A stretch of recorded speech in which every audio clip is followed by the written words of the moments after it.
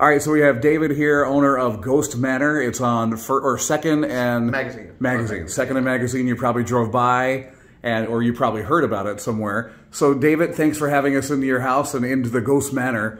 Can you tell us when it began and how it began? Uh, this started 10 years ago, so we're excited to be celebrating the 10 year 10 year anniversary now. Um, it started when just from kind of an experiment. I was trying to take a ghost and make it fly around the house to see if I could do it. Wow. From one window to the next and like round the corner and, and turn back. And at that point, there was no sound or lights. It was just a ghost, and I wanted to make it kind of look like to look real. So somebody would pass by and be like, "I think there's really a ghost in that in that house," and that was good, great fun. But in developing that and developing the techniques to do that, I realized I could control anything. And so I started building animatronics. Uh, I have five custom animatronics that I've built from scratch. Uh, I have a bit of an engineering background. That's not what I do for a living, but I've been building things since I was nine years old and mm-hmm. making circuits and, and, and, doing different lighting and things like that. So it really is a, a chance to learn a lot of new skills and, and put together a whole show and I think it's really different than kind of anything else out there because Halloween, I, I, always grew up with Halloween being scary and I like the scary stuff, but this is not really about scary. It's about the magic and, and whimsy, and it's kind of what the demons and ghosts do after they get off the, for the night, after they're out demonizing or whatever. They'll come here and it's like a speakeasy almost where they'll perform, sing songs, and entertain each other and the crowd. All right, so David, um when do you start doing everything every year? And is it a different show every year or is it the same thing? So I actually start working on it um, before November 1st for the following year. So since it's 2022 now, I'm already working on 2023. There's some scenes that I have maybe 95% done or 75% done. So it's sometimes it takes 18 months to put together an individual piece. wow. It. We right now we have about 15 scenes or so, or roughly. It depends on what we run. Um, they, they'll run a couple of minutes and, and then they'll, they'll continually rotate. So in, the last 10 years, I've added more and more each year. I don't usually change the whole entire thing because people come back to see the same like greatest hits as well. So I usually add. So I'll, I'll sometimes I'll go back and perfect some of the old scenes or add something to those scenes, but I, I always work on on new things. Um, and this year, it, I've worked on. I have new like eye mechanisms for the two lead characters that took years to develop and, and engineer. Um, I'm doing motion capture now, so some of the special effects on the windows, I can actually puppet in real time and, and apply that motion to characters, so I can choreograph top to bottom what every single element does. Um, and this year, I have a new scene. Uh, Devil went down to Georgia, what we're doing, and I actually uh, strapped on the motion capture suit and, and, pretended to play the fiddle and, and do the demon band and, mm-hmm. and, started jamming. And so they will actually play the song uh, in the windows in kind of in counterpoint to the animatronics who are singing it downstairs. So, David, I feel this is a one of a kind thing that you'll only see here in New Orleans, and only your house is something like this. This is a one of a kind. It's the only thing exactly like it anywhere in the world, wow. actually. Um, what we do, it's not it's not Halloween decorations because everything comes alive and it's a whole show. Um, it's not a, a, light show. It has a lot of lighting that, that affect things, but there's actually characters that perform. There's a story. There's um, things in the windows. There's uh, the animatronics. There's lightning. There's fog. There's all these special effects, and it all comes together in a in, in a show. And it's more like a theme park uh, attraction than anything, really. But as far as I know, no one's doing this for Halloween on their house. So where did the inspiration come to build it into a massive show that it is? Um, I have been uh, deeply inspired by theme park uh, attractions, uh, like Disney, especially Haunted Mansion. But in addition to that, I'm, I'm actually inspired a lot by musical theater. Uh, so it, there is a show that happens. There's a lot of dancing, like the monsters come alive thriller dance we do putting on the Ritz, Frankenstein's tap dancing up there. Um, I have country line dancers for uh, Devil Went Down in Georgia. There's a lot of performances where you have the singing and dancing. You have all these different elements that just like kind of immerse you in, in all of it. Uh, so do you have to, uh, first of all, how do the neighbors feel about the crowds and the, the spectacle that's amazing? And uh, special permission at all from the city? You know, uh, well, the neighbors love it. Uh, they, they actually love it. Uh, they they give us compliments all the time, and they, they give us uh, their support. We're very respectful to them too. We, we have limited hours. We, we meet their concerns. Somebody was studying for their medical boards one night. We just cut the show early just for that one person. Like it, it, we're very there's a lot of give and take, and they know that that we care about them, and they, they like what we do, and they, I think they're proud kind of to be a part of it and we love them. Uh, the city's been, been supportive too. They, have been um, they've been really good about it as well. If we getting permits and stuff like that, it's, it's really it's it's really been well received by everyone. Arm and a leg. I mean, it, it's not it's not a cheap thing out there. This is like an amazing show. So, I mean, can you give us like a ballpark? Is it under 10 million? it, it is under. I, I, it is more than zero and less than 10 million. Um, it's well in the. I, I don't honestly don't even know, but it, I, I would say it's well in five figures. Um, part of the expense, I mean, the biggest expense is actually research and development because I will building robots isn't cheap. Uh, there's a lot of thing parts I have, have to do and things I have to test and and what actually makes it. There might be a lot going into prototyping things. Now, having said that, I will say I do everything myself. All the engineering, all the uh, computer animation, all the programming, electronics, all that's me.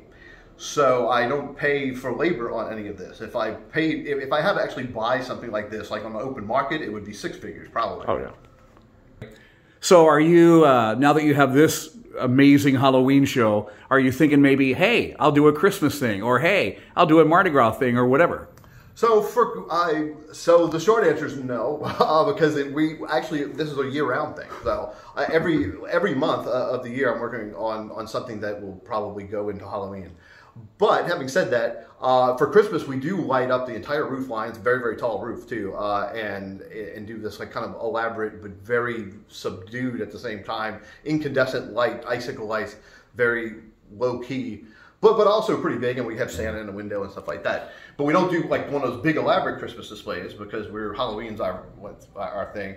Uh, Mardi Gras, I do light it up some some of the same lights uh, that I use in, in, the Halloween show. I do light up purple, green, and gold, and, and, and put lights on the house. And uh, in 2020, when everyone was doing their house floats, we, we had a pretty elaborate uh, Mardi Gras like kind of light show on there too. So I'll never rule it out. You never know like uh, what what could happen for Mardi Gras. But, so when can people come by and see it? What are the hours that it's going to be on? So it, we'll be running every night now uh, through Halloween uh, night, and it, it starts at, as soon as it gets dark. So right now it's around six thirty, and we'll run it till at least ten. David from Ghost House and Ghost, or David from Ghost Manor, thank you so much for being a part of B97. Thanks, it's a pleasure.